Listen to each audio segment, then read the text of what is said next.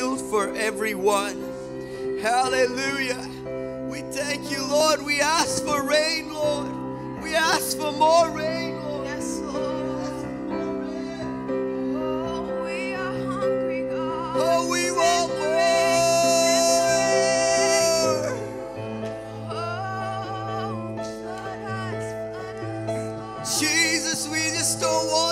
Today's rain.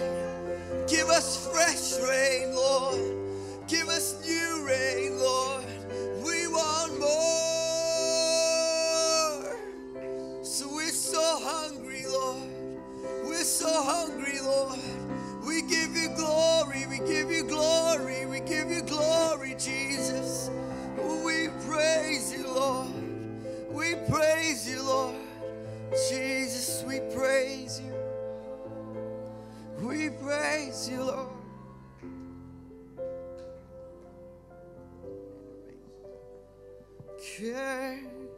so let it rain.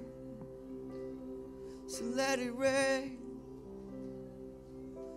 Let it, rain.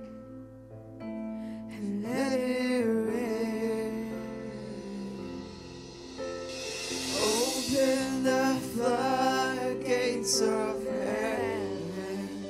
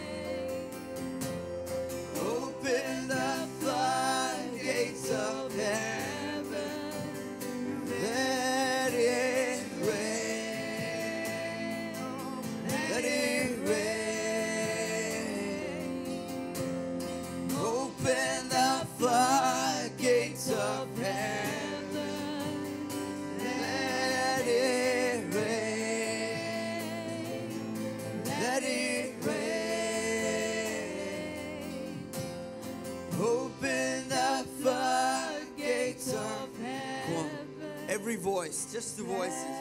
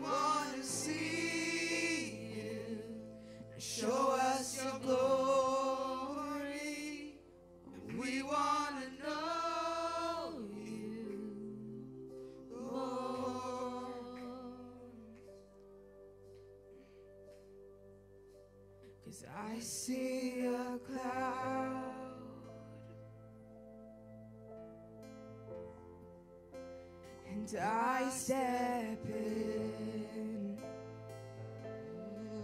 Oh, and I see the clouds.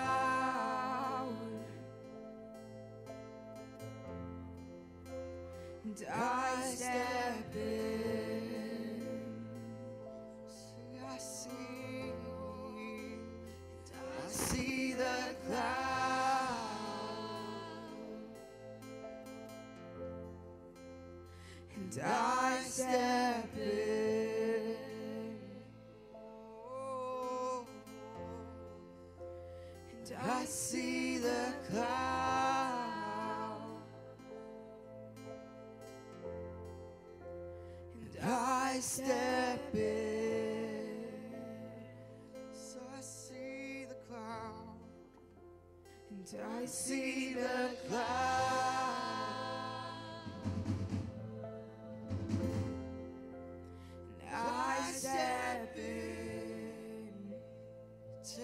step in.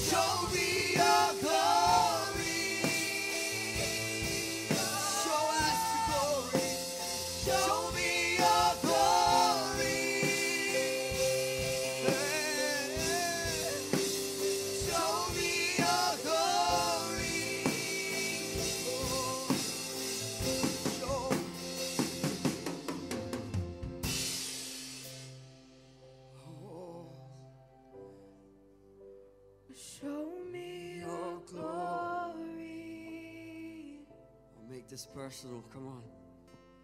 God, show me your glory, Jesus. Show me your glory. Show me your glory, God. Oh, show me your glory, Jesus. Show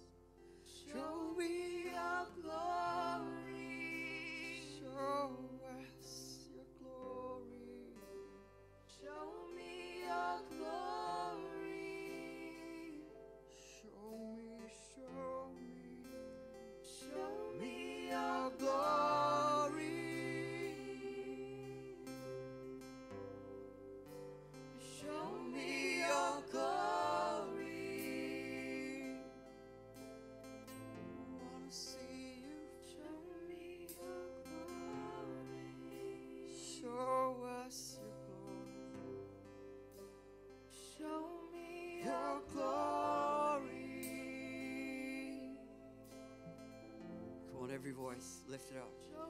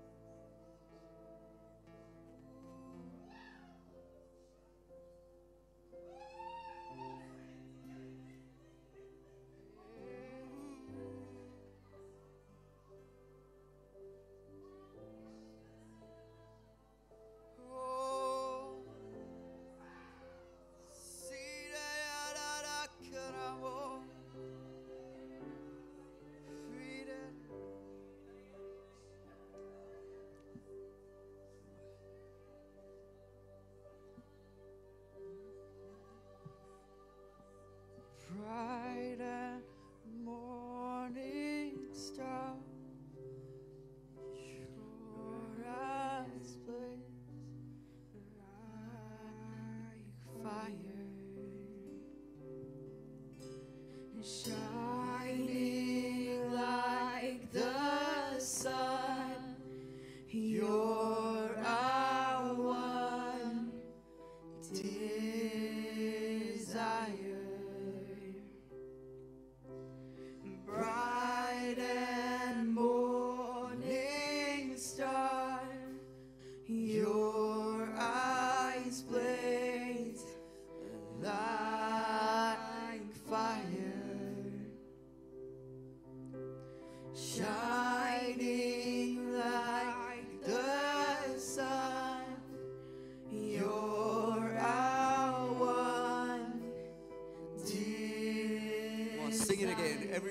Bright and morning star.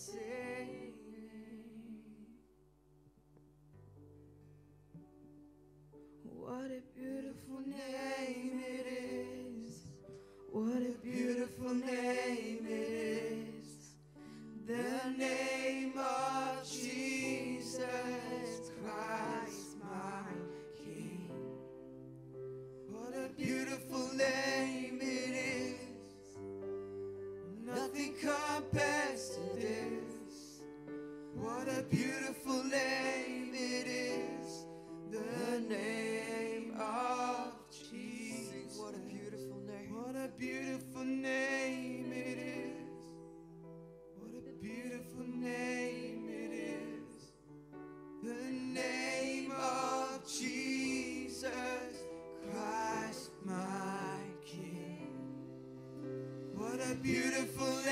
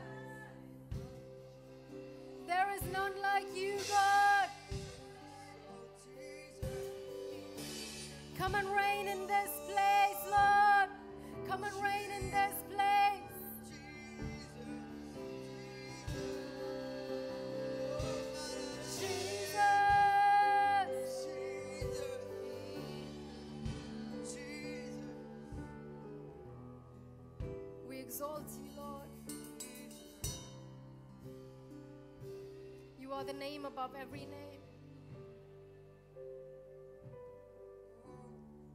Jesus. Jesus. What a beautiful name. Jesus.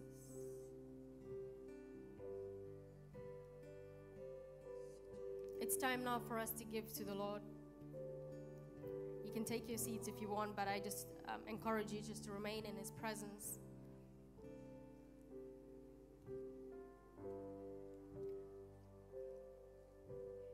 Mark 4, verse 3 onward says, Listen, behold, a sower went out to sow, and it happened as he sowed that some seed fell by the wayside, and the birds of the air came and devoured it.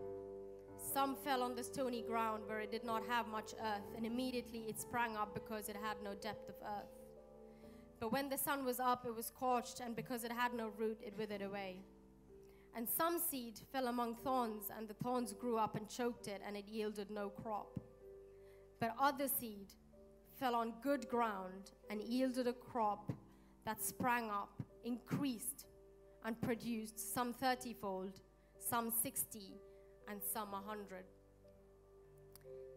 This, many of you know, is the parable of the sower, and it's, and it's usually used um, in relation to hearing the word of God. But it also has more literal implications of what happens when we sow our seed in the right places, in good soil. The good soil is nothing but the kingdom of God. It's God's house, it's God's work. And when we sow our seeds into, into what God is doing, into His house, into His kingdom, we are going to see exponential returns.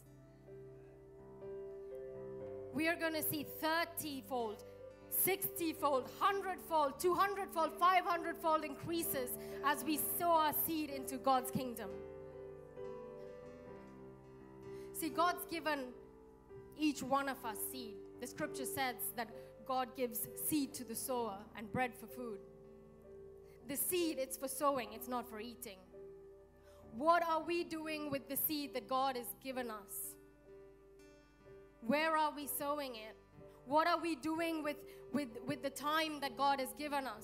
What are we doing with the resources that God has given us?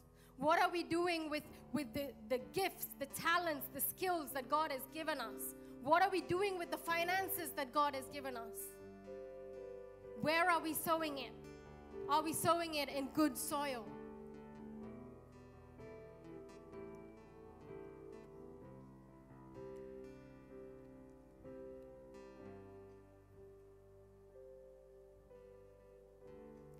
It's His kingdom.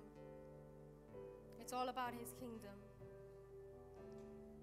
The good soil, the good ground. I want the ushers to pass out the offering envelopes. And I just want everybody to take a minute and just think about where you're sowing your seeds. Are we sowing it in good ground? What are we doing with it?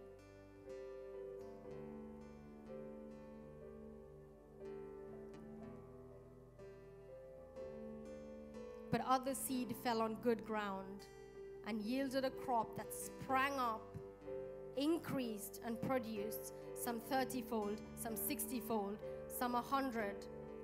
And I'm prophetically going to add to that and say 200, 500, 1,000. You can claim more, there's no limit.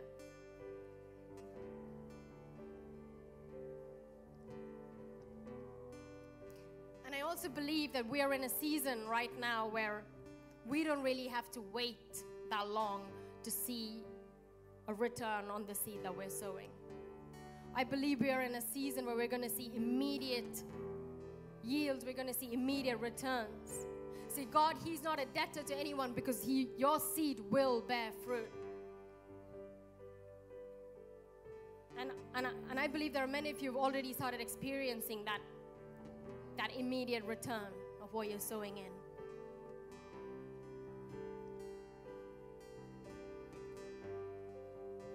There are four ways to give.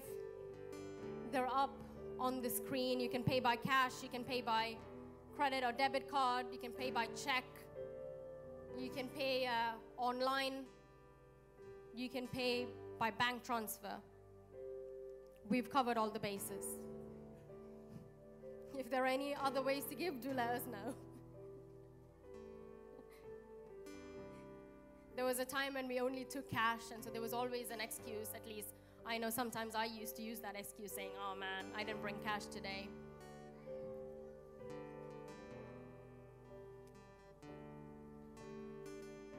But we just want to give everybody an opportunity to be blessed. Your seed will bear fruit, and it will bear much fruit. Amen. So, uh, if you're ready, you can come forward and put your offerings in the boxes here.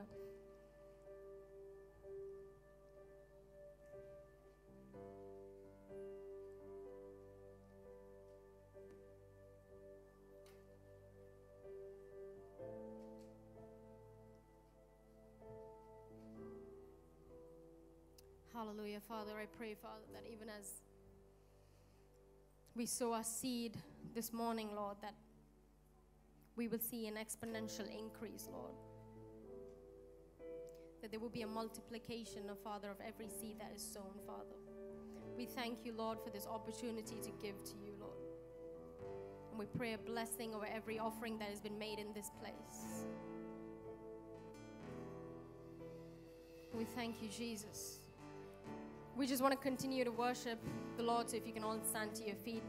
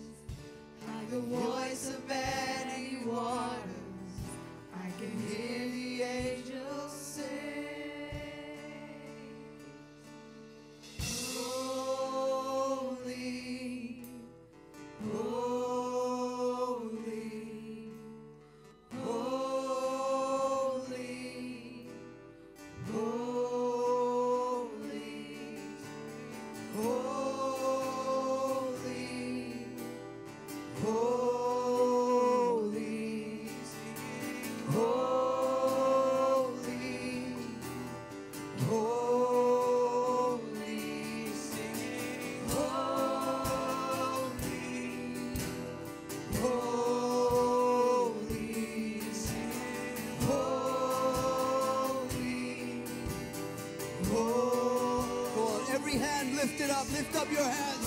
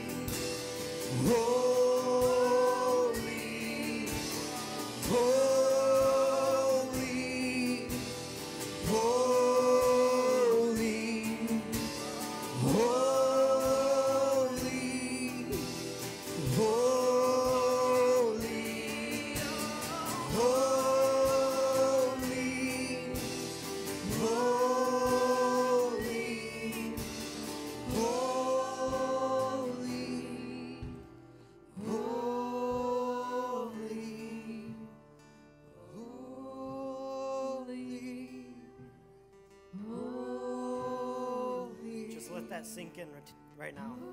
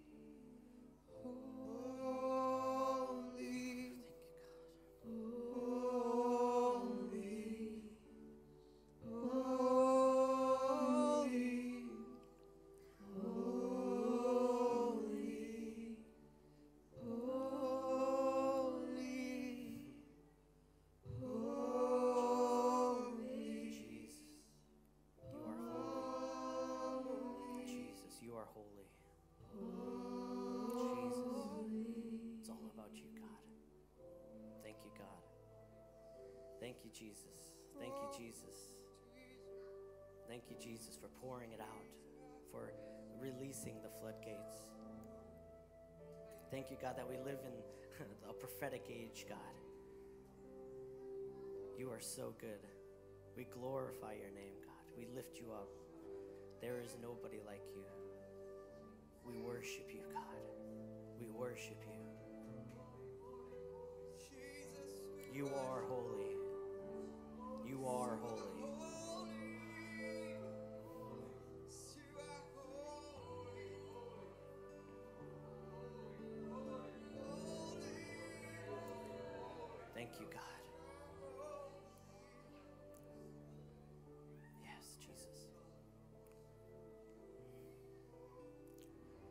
Thank you for the rain that you've poured out, the glory rain.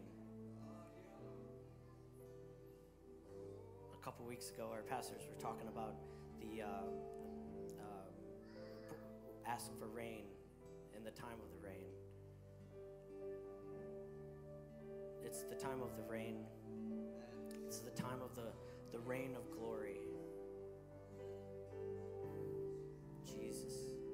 Thank you for what you've given us. And thank you that it will continue. Because you are never ending, boundless. You are forever.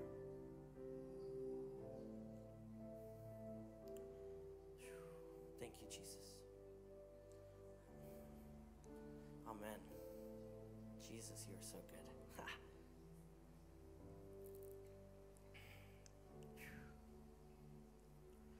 Thank you, worship team. That was amazing. Really. Thank you, Jesus. God is good all the time. it's so much fun to get to worship Him. It's so good. I missed y'all. How are you doing? good. Whew. It's good up here. I'll tell you that much. Um, couple of announcements. Uh, we are Capstone Church. You probably know that. Um, we have two services here and also one in Southall. Um, Rakesh, our other pastor, is in Rak- or, he's in Southall today. So um,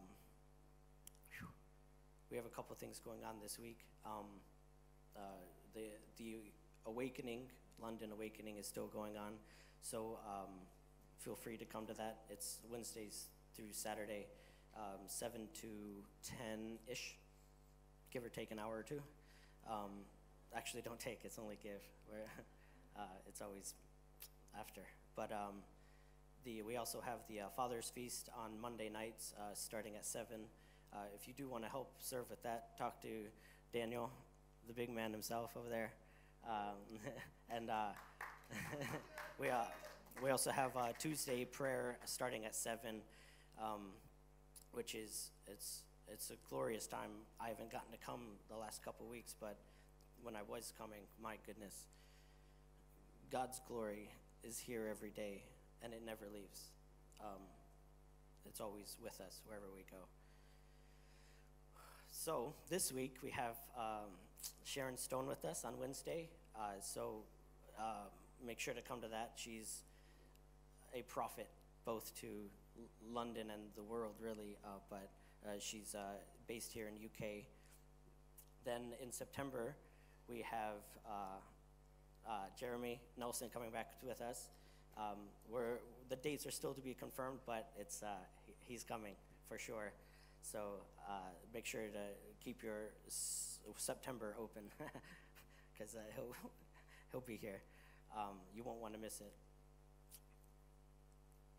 And uh, so we are thrilled to have the London Awakening continue. Um, I, when it first started, wasn't sure how long it was going to take, but uh, or how long it was going to be, and now it's uh, week ten. We're going into week ten. Yeah, man. Yeah, give it up for that. Come on, guys, give it up for that. Also, let's give it up for our lovely pastor, Mrs. Kurian.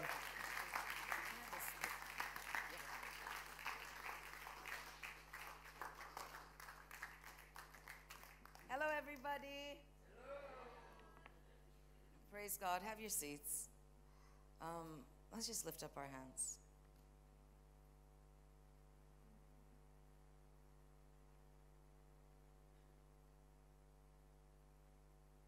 What a powerful name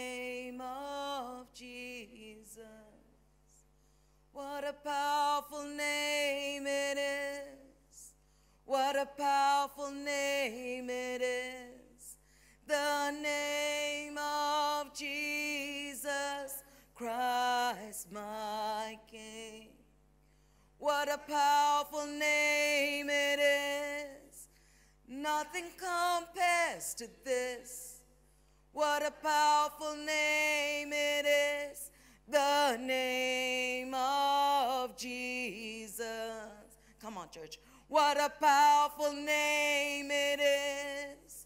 What a powerful name it is. The name of Jesus Christ, my King. What a powerful name it is. Nothing compares to this. What a powerful name it is. The name of Jesus. There is no higher name. There is no greater name. There is no name given amongst men in whose name is salvation except the name of Jesus. And all we need in our lives is Jesus. That's all we need. Jesus makes us complete. Jesus makes us whole. And Jesus makes us happy. So nudge your neighbor and say, Jesus makes me happy. Uh, wait, wait, wait. Some of you he made happy, some of you he made grumpy. I'm just saying, okay? So nudge your neighbor, greet somebody in the name of Jesus and say, Jesus loves you.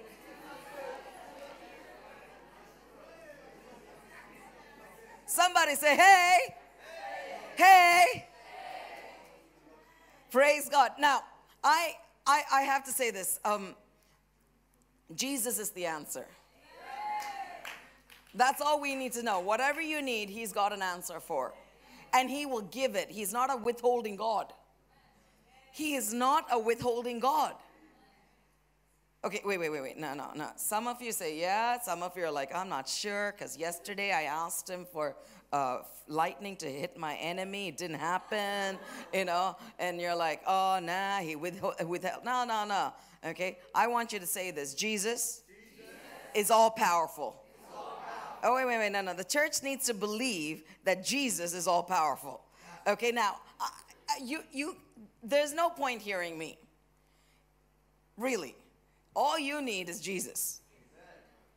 When we come into service, and this is often what happens, we treat it like a movie.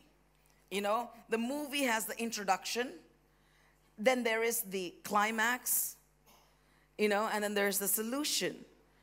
So service is like that. You know, the introduction is the worship.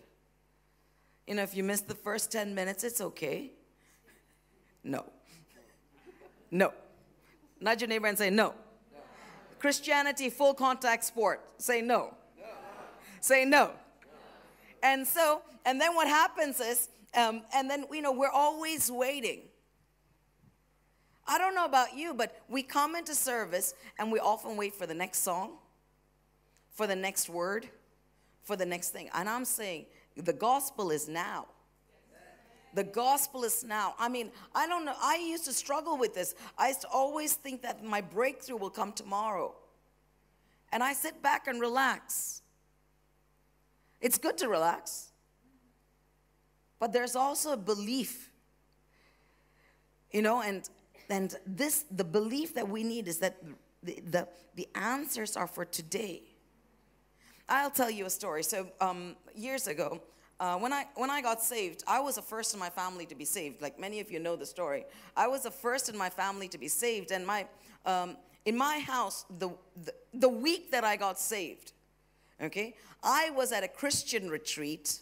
My elder brother had converted to Islam, okay, and my second brother was at a Hindu um, pilgrimage place. Imagine my mom's plight. I get, I mean, I get saved, radically saved. I, I call her. I call her from, from the retreat center, you know, and I called her up and I said, Mommy, Mommy, you have to know about this Jesus. And she was like, What? And I said, You don't know about this Jesus. And I said, You know, all the things that we've been doing, it's wrong. That's not a good call to get from your daughter. Okay? I said, We've been wrong all these years. And she was like, We'll talk when you come home. And that was, and so I got home and I remember um, my family was not happy I got saved. They were really not happy. And, um, and, um, long like my, my, they were they didn't let me go to church for a long time and that's why i value coming to church i think many of us have had it too easy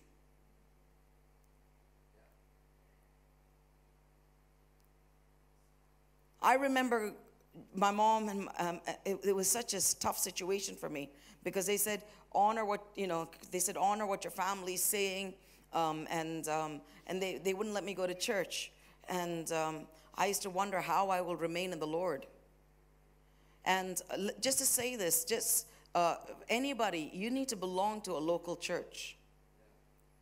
You need to serve in a local church and you should have the fellowship of the believers on if it's sunday the sabbath. That's your sabbath you should do that. There's no excuse for it not happening whatsoever.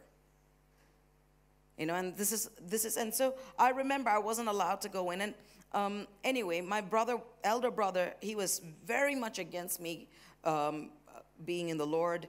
Um, he and I, I have to tell you the story. I used to pray in my room because I wasn't allowed to go anywhere else and pray. So I used to sit in my room and I used to pray. And I used to spend hours in prayer. Let me tell you something everything that you have is birthed in prayer. What you pray this season will pr- produce your next season. So you want something next season, pray through this season. And so as I was praying and praying in my room, there was this big, um, you know, knock on my door. I would say a bang. You know, my big brother comes and he knocks on my door and he says, "Can you stop praying?" I said, "Why?" And then, um, then he says, "Can you stop praying?" And I said, "How do you know I'm praying?" And then he said, Well, I was doing, you know, they do the five times prayer thing. Um, and he was doing that and um, in his room. And he said he couldn't pray. And because he couldn't pray, he figured out was because I was praying. And I kind of just didn't say it out loud, but thought in my mind, Greater is he who is in me. Because I'm just smiling. I'm just laying it out there. And anyway, um, about eight months or a year later, I was at this um, I was at this place, and suddenly, as I was praying with um, his wife, my sister-in-law, we were sitting together and we were praying for our family. And as we were praying, I heard the sound of these rushing horses. These horses were coming straight at, and I actually literally moved out of the way because I, I heard these horses come. And um, there was one riding at the front of these horses. And, um, and I, I kind of asked, what is, so what is this? And I nudged my sister-in-law saying, can you hear this? And she said, no. Um, I said, and then the, the horses came close. I asked, what is this? And this voice said this. He said, your brother is going to get saved. And I thought, whoa, praise God. I nudged my sister in law, you know, and I said, I said, I nudged her and I said, you know what? Johnson's going to get saved maybe in the year, in the next year or so. That's all the faith I had. But that night, as he was driving, he was in a near accident. And he said someone supernaturally moved his car out of the way. And in the midst of that, that incident, instead of calling on his, whatever he was calling on at that time, he called on the name of Jesus. Hallelujah. And he was irritated with himself.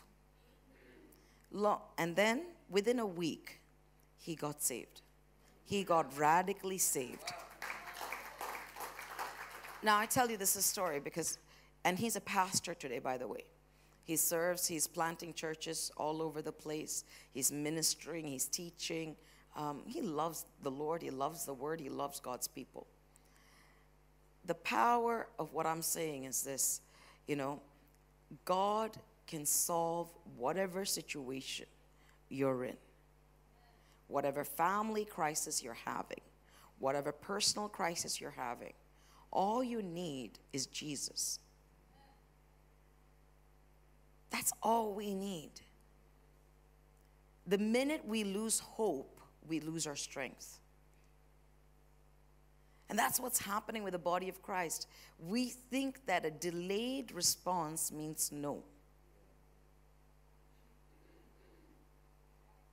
My brother got saved radically within that season, like within that week, and uh, within the week, or ten days, um, and it was such a blessing. And I thought everybody else after that would get saved like that. No. And I'm saying this, and um, Jeevan said it during worship, Stephen said it during the announcements. In the time of the latter rain, church, ask for rain. Capstone Church has been hosting the London Awakening for now 10 weeks. We're starting the 10th week. And we can become used to Him and His presence. And people often ask me, you know, I study revival in, and I study, um, I study how moves of God took place, um, and knowledge is good. Knowledge is really good. Everything is available out there. If you want to be a healing evangelist, learn about every healing evangelist that there is. Find out how they operated. Find out how, you know, read the books, read everything. This is not my sermon, but I'm just coming in and speaking to the church this morning. One of the things that we, in this move of God, that we will be called to do is we will be called to press in. Someone came and asked me, they said, they came and asked me, they said, um, when the awakening started, they said, Isn't it going to be easy? I said, No. If it's going to be easy, then everybody could do it.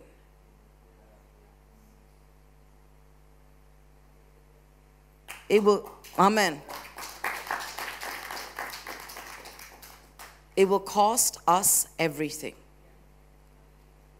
I don't mean it as a joke. It will cost us everything. When many of the people came to follow Jesus, Jesus, Jesus said, Yeah, I'm happy. You follow me. Come with me now. And then the people said, One said, I have to go get married. That's, that's great. The other said, I have to bury, the, I have to bury my dad. That's great. But when Jesus is in a place, go with him then.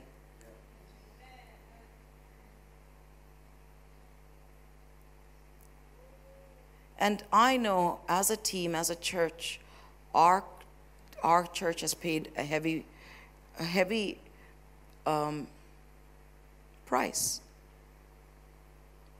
And it's good. It's so good that we get the opportunity. Capstone Church, imagine if if the awakening happened in, in West London, we'd have to go there every day. Because we would. We would go where the Lord is moving, 100%. You would ask where your pastors are, and they, they'd say, well, they're in the awakening. God has been so beneficial and, and so nice to us that He brought it to this house. Hallelujah. And it's our privilege. It's our privilege. So turn your Bibles to Matthew chapter 5. I want to say this. As we continue to host His presence, we will be like the house of Obed Edom. There will be blessing, but there will be cost to be high priests and ministers to the Lord. Amen. Matthew chapter 5. Not your neighbor. Say, I'm going to be happy. Come on. Say, I'm going to be happy. How many of you know the Beatitudes?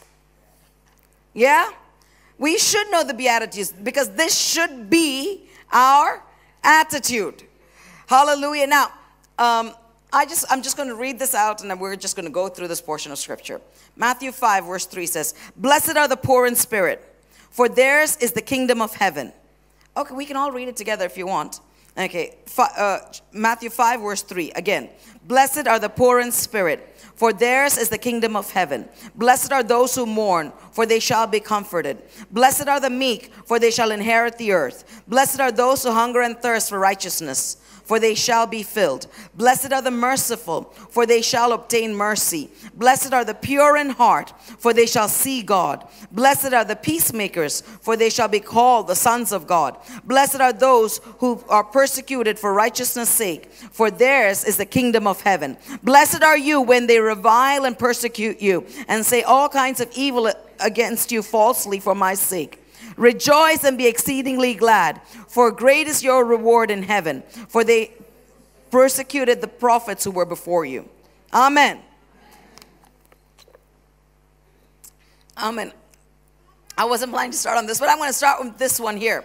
Blessed are, verse 11, blessed are you when they revile and persecute you and say all kinds of evil against you falsely for my sake. Now, one thing that we find here is this Hi. So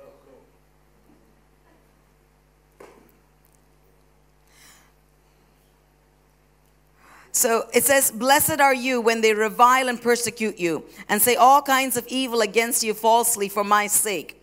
Now, this is one of the portions of scripture that makes me laugh because as Christians, we, we like to quote this. When anything goes wrong or anything that happens in our lives, we kind of like to um, say, you know, blessed are we. Now, for me, I like this word falsely.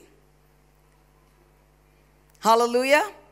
I like this word falsely. Blessed are those who persecute. Blessed are you when they revile and persecute you and say all kinds of evil against you falsely. And I'm actually going to speak today about the character required to be revival. Now, revival is you and I. We are the temple of the living God. Revival is you and I. You and I carry revival. Now, when Solomon pre- prepared the temple, when Solomon built the temple for uh, hosting God's presence, there were specific requirements of the temple. And there are certain requirements if we want to sustain revival, if we want to carry revival that must be seen within you and I. Otherwise, Capstone Church, we will be known as the place that hosted revival for 10 weeks. We don't want that. We want to be a place of revival for the rest of our lives. Hallelujah. For the rest of our lives, we want to be the place of revival. Hallelujah. Come on, let's just bless him. We bless you. Hallelujah. Blessed are you when they revile and persecute you for all kinds of evil against you falsely for my sake. Now let's just close our eyes for a minute. Father God, we pray, Father, that you will release your grace, Father for us to discern, Father, where we are in our journey, Father. Give us the grace to discern where we are. Catch what you're telling us and let us move in that direction. Verse 3 says this Blessed are the poor in spirit for theirs is the kingdom of heaven. Now, this word blessed actually translates to the word happy.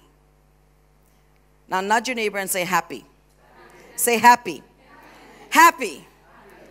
You know how the Old Testament, how the Old Testament, um, the last line of the Old Testament is? It says curse. The last line of Malachi ends with a curse. But the first sermon that Jesus preached starts with blessed. Hallelujah. Hallelujah. The Lord Jesus came with a blessing. And with the blessing, he came with this, with this new thing. He spoke about gladness. Now, the only reason we'll have gladness is when we have hope. And I'm speaking here today for the church to have hope to have dreams, Amen. to have spiritual, God given ambition. We need to have desire to do something on this earth. We must have a desire to birth something new. We must have a desire to give birth on this earth. Because most of us are so so. We we get used to you know the minute we get saved we're like yeah yeah yeah and then two days later uh. and that is why paul writing to the church he said awake o sleeper rise from the dead the church has to arise dream big Amen. and birth it you know how many people come and tell pastors, I have this ambition, that ambition. And you ask them, You ask them, what did you do with it five years later? He said, you didn't give me permission. You don't need my permission to preach on the streets. You need my permission for the pulpit.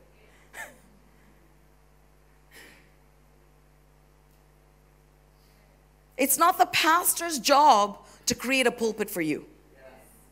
Wait, I'm going to clap for that one. Most people in a church are waiting for the pastor to move aside.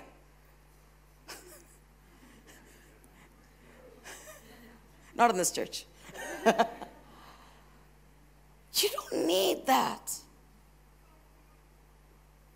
Our greatest ministry 98% of our ministry must be on the streets, must be in the houses, must be in the friendship places, it must be in the workplaces, it must be outside.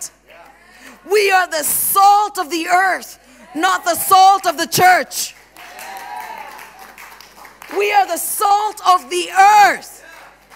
That's what the Bible says. And this, this character in, in, in Matthew 5, the Beatitudes, goes on to that one word. You are the salt of the earth. And the reason why we're not the salt is because sometimes we don't have the attitude that we must be. Blessed, say happy. How many of us want to be happy? If you want to be happy, he says, Happy are the poor in spirit. Not are the poor in your wealth. Not in, this does not speak about financial wealth. Let me tell you something in the world, both the rich and the poor are equally unhappy. Wealth doesn't determine your levels of happiness. Godly wealth means nothing. Sorry, go, earthly wealth means nothing. Godly wealth means everything. I was testing you guys. Hallelujah. But look at this. It says, it says, blessed, say happy, happy. are the poor in spirit. Now, uh, many people preach on this, but I just want to make this one one word come come alive here. Okay, it says this word poor. We, we think. I mean, I used to think this like when I, I was part of a traditional church. The more godly people became, you know, the more they walked down, they looked and they you know, they were like this. This is how they came to church. They changed their outfits. They were wearing more whites than they were colors. That was how, you know, the spiritualness, it was increased. You know, they no longer let their hair loose. They tied it in a bun, you know. You know, this was, this is how, and that was the height of poor in spirit. No. no. Not your neighbor and say, no, no, no, no. Say, no, no, no, no. That's not it. Now, the poor in spirit understands. Not your neighbor and say, understands Say, understands. The poor in spirit understands that they have nothing within them that is, can please God. And Christ came and paid the price and restored them to God. And their spirit knows that they can only be saved through Jesus Christ. That is the blessed in poor in spirit. You know what is the first miracle Jesus did? The first miracle Jesus did was turn water into wine. You know why? Not because he wanted the church to be alcoholics. Hallelujah. This is most of my uncles, their favorite scripture in the Bible is the one that he turned the water to wine. They, they know that really well. And then when Paul wrote to Timothy, Paul said, Drink a little wine. These are the two scriptures that my uncles would quote to me. I was like, Thank you, Lord. I said, Thou shalt not also be drunken. But anyway, the first miracle that Jesus did was he turned water into wine. What was that water used for? For purification. That water was used for purification. And Jesus took away their means of purification because Jesus is the means for purification. That's what he did. He took away, he said, Listen, this is what I'm going to tell you. You can't purify yourselves. You can't no matter how many barrels, how many gallons, how much, how much ever you wash yourselves, you can never purify yourselves. We will always be below the mark. And Jesus came And he paid that price. And this is and this is what we need to understand. Many of us come into the this is the attitude we need to understand. Two bits of this is one that we have no righteousness apart from Christ. Now, for those of us who are really born again, who are fully on fire for God, there's a problem we can have. Our fire can substitute God's righteousness. We can think that we are better than other people. And that's a problem. We are no longer poor in spirit because we are haughty, judgmental. And we have to be very careful. You know what happens when we become full of pride? We lose our joy. Happy are the poor in spirit. You know, if you're not happy, check yourselves. Wait a minute, wait a minute. I'm going to put them. Thank you. I'm preaching better than you're responding. I, I think. You know, I'm just saying. Okay. Huh? Blessed are the poor in spirit. Blessed are the poor in spirit. You know, we kind of have to realize one is, and in this church, this is the we. You know, we can say, yeah, I've been there, done it, seen it all. No, we haven't seen even a 0.0001% of the glory of God. We have seen nothing. And when we come in, if you think I've heard it, you know what? You're going to be miserable. It's your choice. You know what? Your spiritual walk, no one will be more, um, no one can steward your spiritual walk, walk better than you. It's not my job. My job is to pastor of the congregation, but your job is to take care of your spiritual life.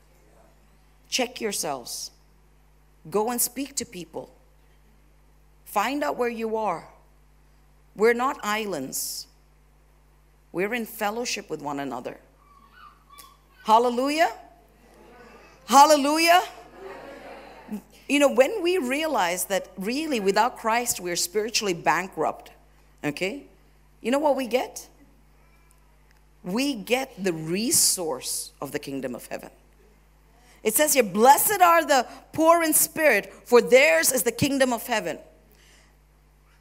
And this is what I'm saying to the church. Now, any church that hosts revival often gets affected. And I'm preaching this so that we don't get affected. I want us to be soft in our spirits, soft in our hearts, hungry. We haven't seen anything yet. But by the grace of God, we stand. There's nothing else here. And as long as we remain poor in spirit, not, you know, really, I mean, I, I, find this, I find that we become so judgmental. Can I speak like this? Is it okay? You know, like when I'll tell you, can I tell, I'm going to be honest. You know, when I, I'm always honest, but I'm going to be some more honest. Um, you know, like I find before when there were conferences and when I used to come to the, um, when I used to go to, all I, you know, when enter, all I kind of would check was whether I could find a seat somewhere. As you grow in the body of Christ, you find that everybody's looking to see where they're sitting. It doesn't matter. In the church, you all want to sit at the back, you know? But when you come into a conference, you want to sit where the pastors are sitting. And I, I found, and this is something I thought to myself, that's not what it is about. You know, we as we grow in the body of Christ, we become servant to more. If you're not serving anybody, you're not serving anybody. In the body of Christ, the more spiritual you are, the more you'll serve. You will serve one way or the other. Some people will serve through prayer. They will be the first to pray at a church. They will constantly be on their knees asking for revival. There will be some who will pray through service. There will be some who ser- uh, pray through ministry, some who will be out calling people. We have the servant king, and he built the body so that the body works together for the revival of a city. We're not here just so that we can get drunk in the Holy Ghost. We have a purpose.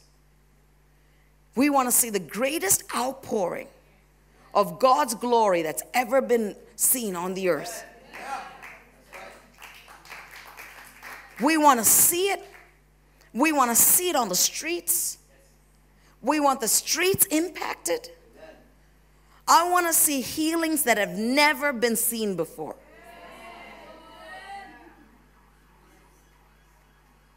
I want to build up a team of people who will be firebrands that go to the end of the earth and who hopefully take me too. You know? Hallelujah. There's a purpose. You and I are the purpose. Blessed are the meek in spirit, for they will inherit the resources of heaven. They will inherit the kingdom of God. As we become, as we, blessed are the poor in spirit, as we become poor in spirit, actually we get richer.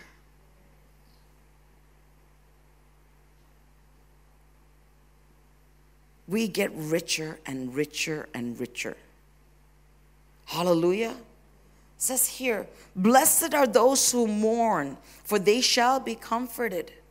Now, this word mourn, you know, and this is what the body of Christ thinks it means. It means just coming and crying.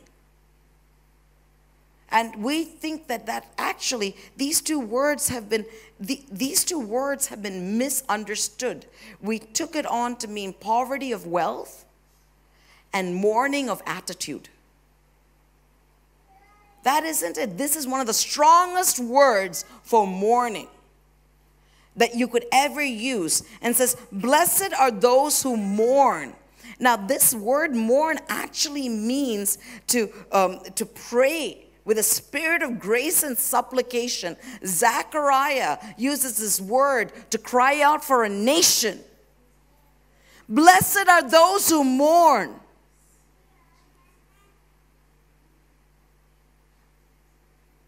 I'll tell you of, you know, there, they asked me not to name them, but there are women in this house that decided to cry out for revival. Every Friday, they work full time jobs, have families. And they were here on Fridays crying out for revival. And revival came. Hallelujah. Blessed are those who mourn, for they shall be comforted. Now, I'm saying these are two inward things poor in spirit. No one knows the state of your spirit other than you and God. You can walk around as humbly as you want. But God knows the heart. And I'm saying there must be that humility of spirit within us you know, and if there's ever an identity this church has, I pray that it be that we are the most humble before God and the most hospitable before man. Or the most hospitable before God and the most humble before man. Both are work, both work. Because we want to be consider the other better than us. It's a scripture. We might not like it, it's a scripture. And, church, if we want to host revival, we can't have pride. We can't. And if we want to host revival, we can't we can't say that um, i mean we, we have to have a desire to cry out for it many people come on a and this will happen. Many people come on a sun, on a on a weekday night, on London weekday night at seven o'clock, and they'll just keep watching to see what's happening. But there'll be two or three or four people within that congregation who will be the ones who are crying out for revival. And they will change the atmosphere of a place. That's what we need. And if a hundred of us cry out for revival, we will see a land changed. And if 120 cry out for revival, we will see the globe changed. Because he did it once, he'll do it again. All we need is to really, the scripture says, blessed, happy are those who mourn. Come on, that's an oxymoron.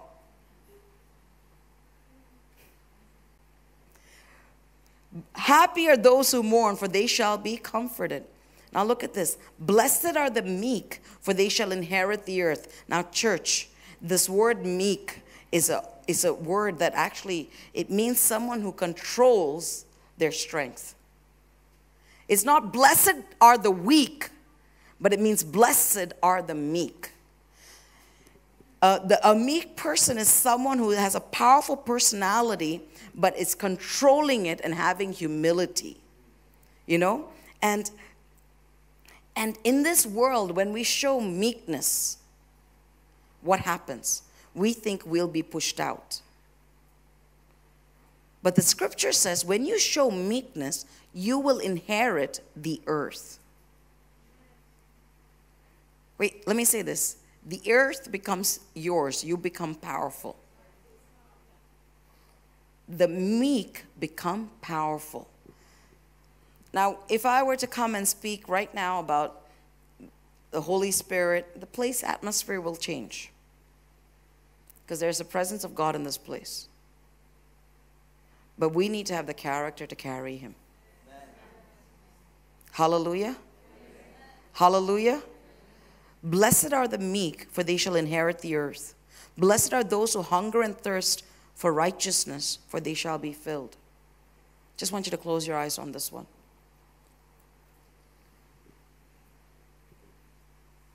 I have a question. What do we really hunger for?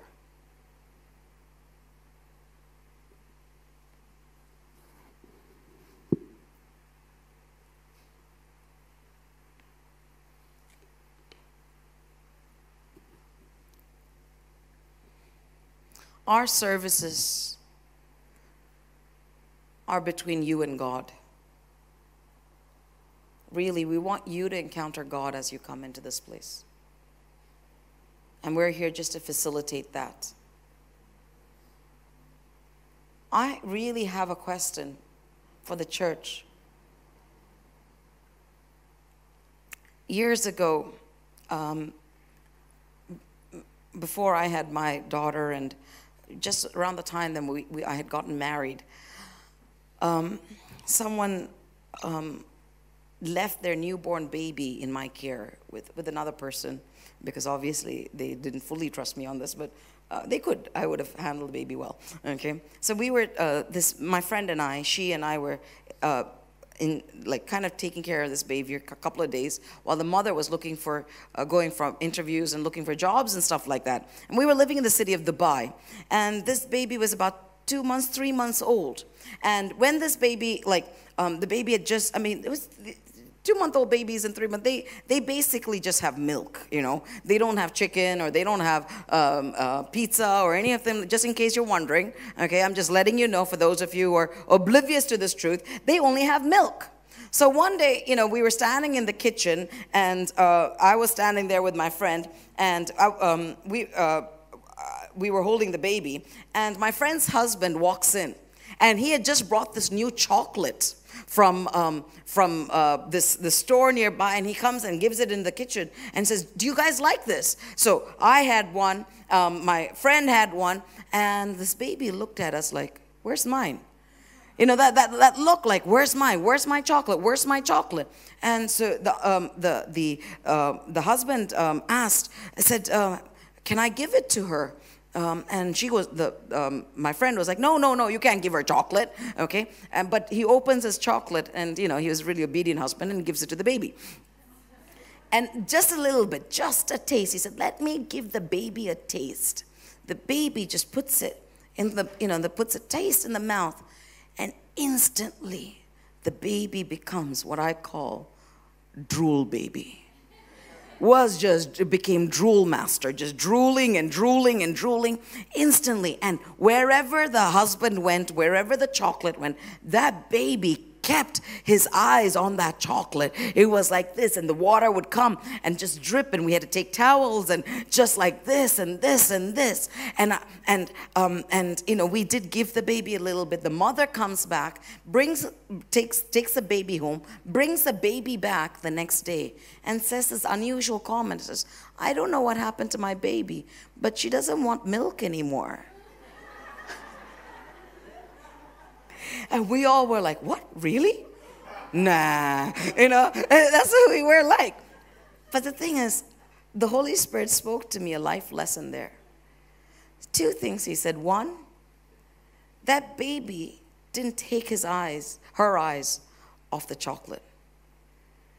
And her body and her mannerism showed forth her desire.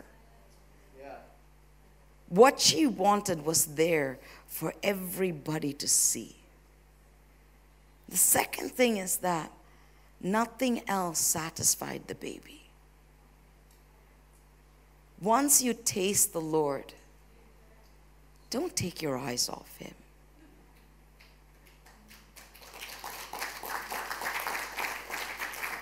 Nothing else should satisfy you.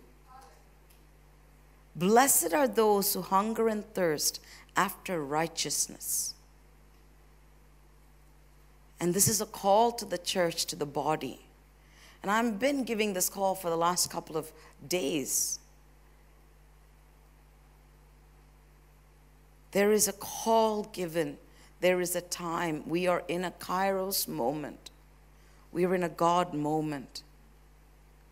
When it's time to sow, we sow. When it's time to reap, we reap. Don't come tomorrow and say, I want to do it. It might not be available.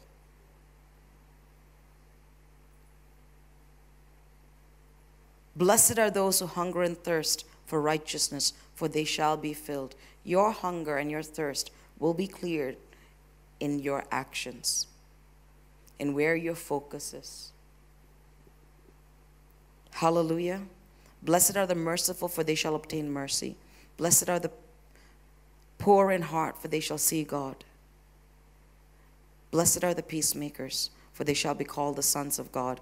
I don't have time to go through all of this, but I just want to end with Isaiah 35. Just lift up your hands. He's here.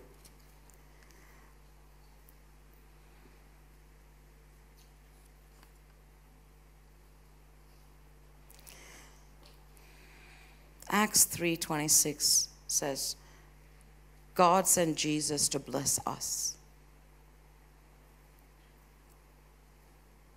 And as we get blessed, we must become a blessing to this nation.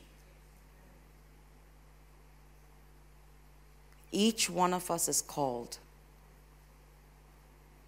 Each one of us has only 24 hours in a day.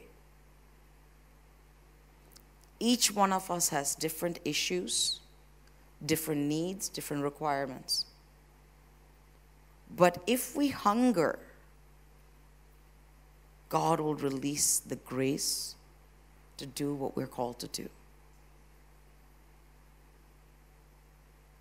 Please don't tell him, I can't.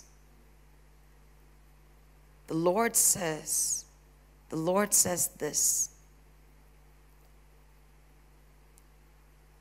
To Isaiah, I said, Who will go for me? That's all.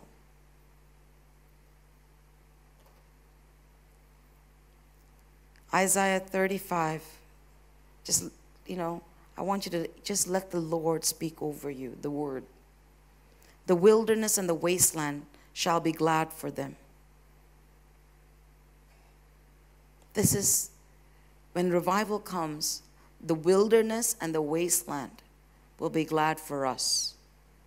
And the desert shall rejoice and blossom as the rose, and it shall blossom abundantly and rejoice, with even with joy and singing. I believe that there is a call in the body of Christ right now for two sets of people for the worshipers, for the singers, and for the people who will pray. In the time of the latter rain, ask for rain. Church, we can't take a back step in prayer. We can't take a step, back step in worship. We must be at the forefront of worship. Worship is our destiny. Worship is our inheritance. You don't need anybody's permission to dance, to sing, to joy in God's house. You know, some people, they, they say, you know, they say, I feel like I'm drawing attention when I come to the front and dance. You can dance at the back. No one said you have to dance here. But worship. Don't sit down and just say, God, I'm watching to see what you will do next. Usher in his presence. Be the driving force of a revival that will shake the nations. We're still at the beginning. We have the choice. It says this, and the glory of Lebanon shall be given to it, and the excellence of Carmel and Sharon. And they shall see the glory of the Lord, the excellency of our God. This morning, as I was driving here, I asked the Lord, I said, Shall I really see your face, God? He said, Yes.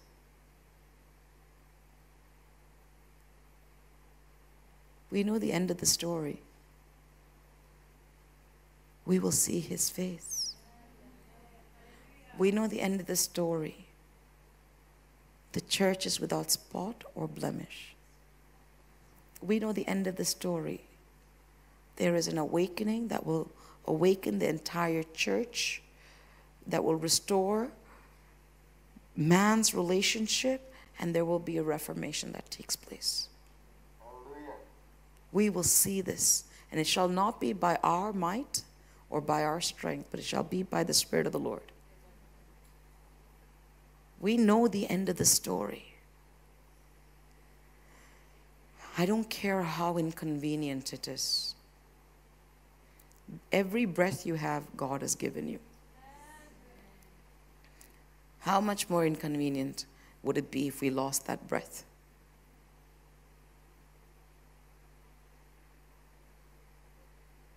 I'm speaking to the church. It will cost us everything, but it will bless us everything.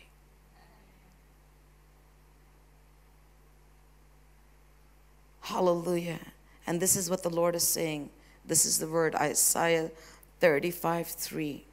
Church, strengthen the weak hands and make firm the feeble knees. Say to those who are fearful hearted, Be strong, do not fear. Behold, your God will come with vengeance. With the recompense of God, he will come and save you. Our God is coming in a mighty, powerful way. We know that what we've had thus far is a taste so I'm encouraging the church right now make strengthen the weak hands. You know, those who are in need right now in the body of Christ, strengthen them. Look, wait, wait, wait. This is not spiritual talk I'm doing here. I'm speaking actuality. Within the body of Christ, there are people within our body that require need. And it isn't one person's or two person's job, it is a whole family job. Amen. It is a body job. Yeah. Strengthen the weak hands and make firm the feeble knees. You know what feeble knees are? People who've fallen. This is the time for the body of Christ, our body, to go and strengthen and make firm, bring back those who have fallen. There is an anointing for this right now. We need to take this out into the streets. We need to take it into the houses, into the families, into our workplace, into the schools. Church, say revival, is not just for me, it's for everybody. And I'm the carrier. I'm the carrier. I'm the carrier. Say, I'm the carrier. And when we do this, when we do this, this is what is going to happen. There shall be an acceleration in this move. As we take ownership of what two things one, A, of our character, our inward being, and our outward demonstration of God's glory and His power and His might. When we strengthen the weak, and make firm the feeble knees. A highway will come. A highway will come. There will be a road. It will be called the highway of holiness. And the unclean will not pass on it. They won't need to because they will come into the presence of God and they will choose Christ, and Christ will make them holy. Hallelujah. And we're praying and pressing into this. So I'm just speaking to the church. We're approaching week 10. We are strong because Christ has made us strong. He has prepared the body. We can do this church, and we have enough energy within us to carry this forward because we have the energy and the power of Christ. Listen, we can do this. We just have to relax in Him, set our hearts right, keep ourselves soft, keep ourselves hungry, pray, desire, work for the betterment of others, strengthen the feeble, strengthen the weak. That's all. It's doable. It's doable. It's within our character. It's within our nature. So I'm calling the church together at this time. The scripture says in Matthew 5 Blessed are the peacemakers, for they shall be called the sons of God. The greatest peace we can do, the greatest peace we can make, is the peace between man and God. That's what Jesus did, and he was called the Son of God. We are called to be peacemakers on this earth, to restore people's relationship with God, whether it's the feeble knees, whether it's the weak, whether it's the backslidden. The ball is in our courts. This is the message that the Lord asked me to share today. and I'm leaving it with you all this week. Call at least five people. Share the gospel. Share the good news. Someone who's struggling, call them up. Don't make it about you, make it about God. Don't make it about, oh, I minister to them. No. Blessed are the poor in spirit. Make it about God. So that we, it's not a tick box for us. Church, let's take it to the streets. Let's take it to the places. Shall we all just stand up?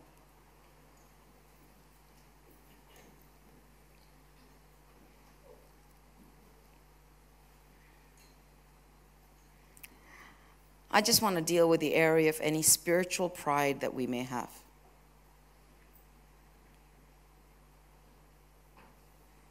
Of any judgment that we've made.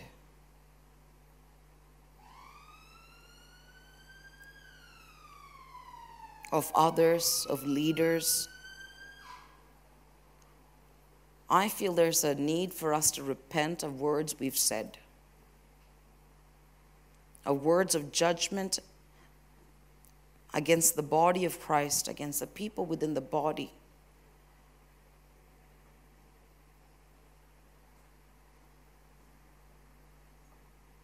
Blessed are the poor in spirit.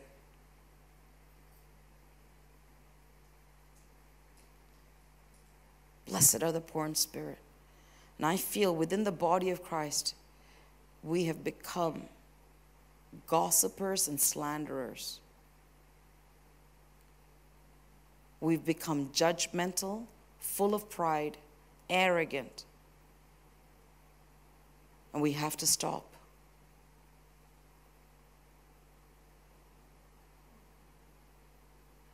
We have become sometimes uncaring,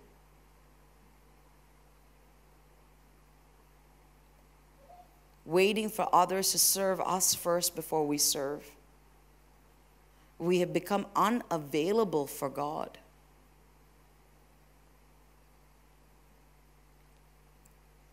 To truly use us.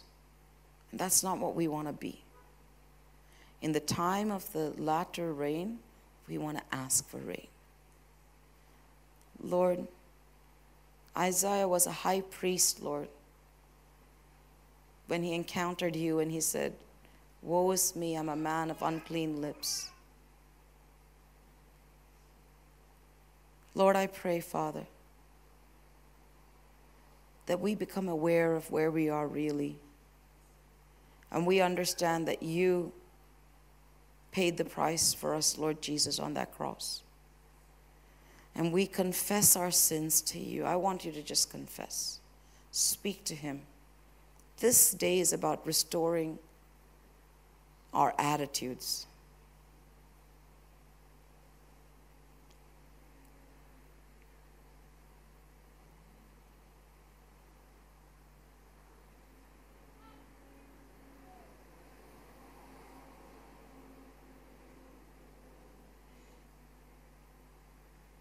The Lord is just reminding me of the story uh, of this uh, biblical account when Jesus and Peter were speaking after Jesus' resurrection. Peter was asked by Jesus, Do you love me? And Peter said, Yes. He said, Feed my sheep. For God, his body matters. For, for the Lord Jesus, his body matters to him. How we treat his body is very important. We can't show disinterest. Allow the Lord to speak to you because if you do, it will set you on the right path into your destiny. This talk might not be for everybody, it will be for those who are hungry and who really want to step into their greater calling.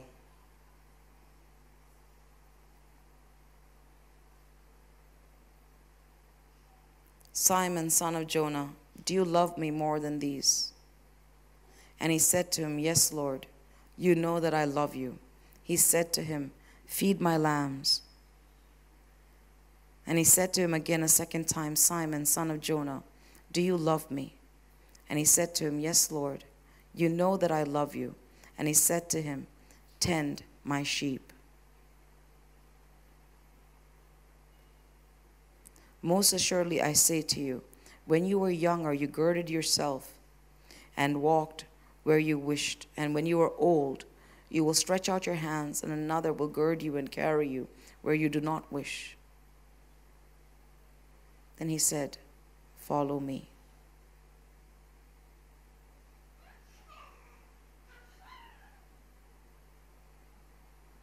And he said, Follow me. Like that child, like that baby, everything in our life should show him that we are hungry and thirsty for righteousness. This is not the time for lukewarmness.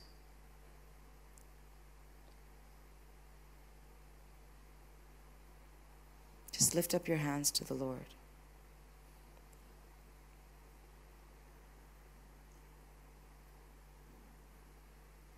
Just tell him, I surrender, God.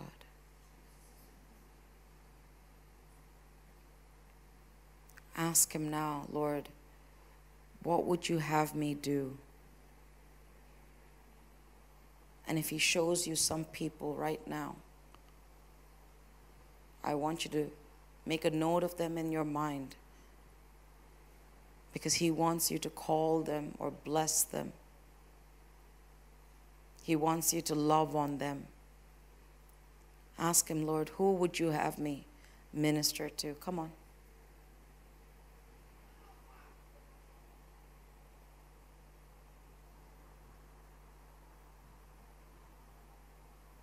Ask Him to show you people.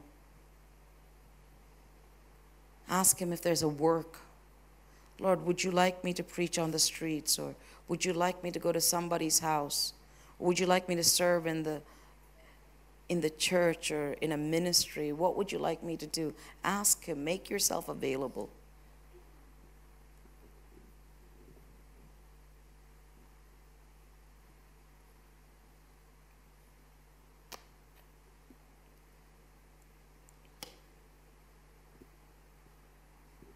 How many of you are having the Lord speak to you? How many of you saw an image of a person or somebody that the Lord is asking you to? Come on. We're not asking you. Come on. The Lord should be showing everybody in this place. Say, Lord, show me who I can love on.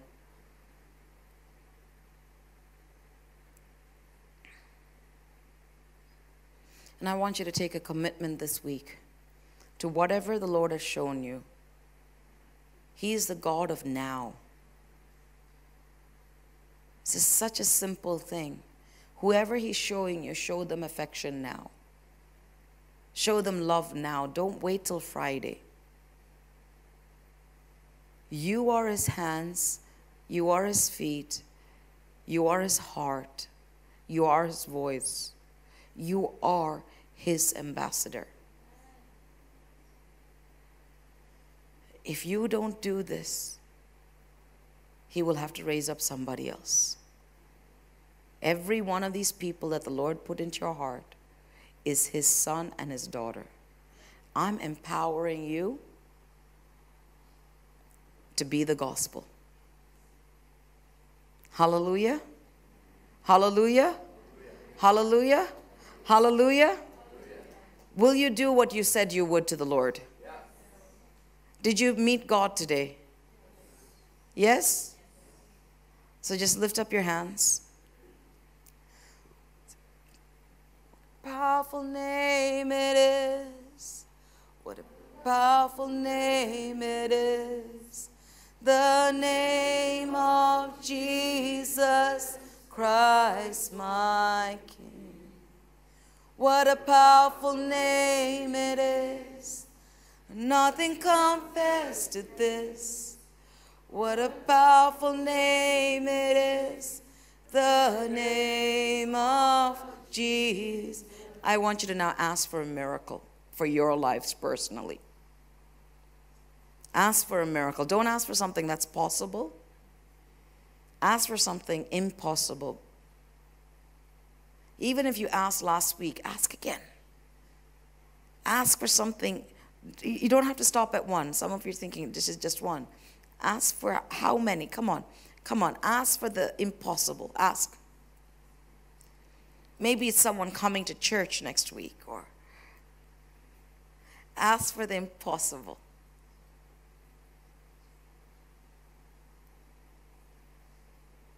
Now, I want you to declare over that impossible situation. Listen, we're doing spiritual warfare here. We're praying. Yeah?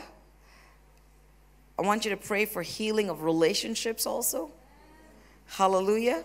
And we're going to sing what a powerful name it is. And we're going to declare the name of Jesus over every situation. What a powerful name it is.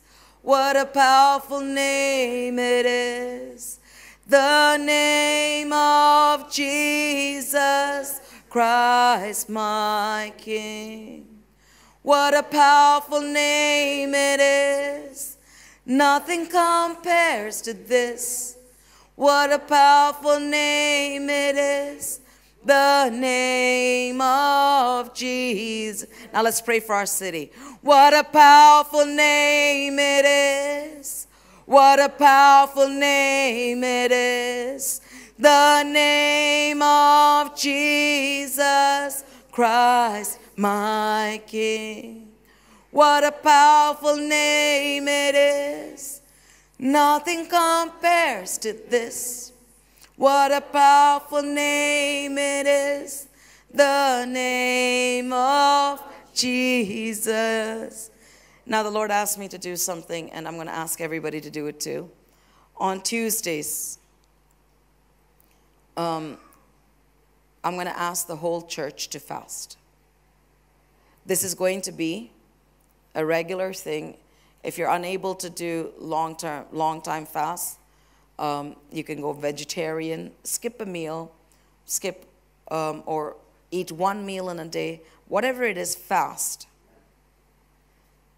Tuesdays from now on, Capstone Church is going to fast. Hallelujah. We're going to fast and we're also going to pray.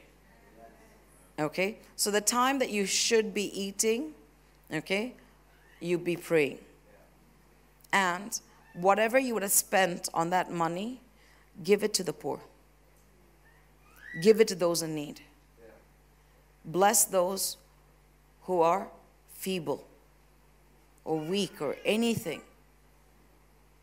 So if you're working in the city, go to somebody on the street and say, Can I bless you? We're going to be the hands and the feet of God in the city. Hallelujah. Hallelujah. So Tuesdays, we're fasting.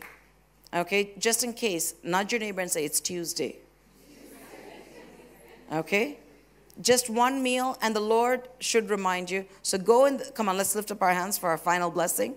Go in the grace of our Lord Jesus Christ, in the love of the Father, and the sweet fellowship of the Holy Spirit of God. Be blessed. Amen. Amen. Greet somebody, say hi if you're new. Is, is anyone new to Capstone Church? First time, first Sunday service. Oh, hi. What's your name? Sorry? Wendy. Nice to meet you, Wendy. Uh, praise God. Thank you for coming. Anybody else? Hi.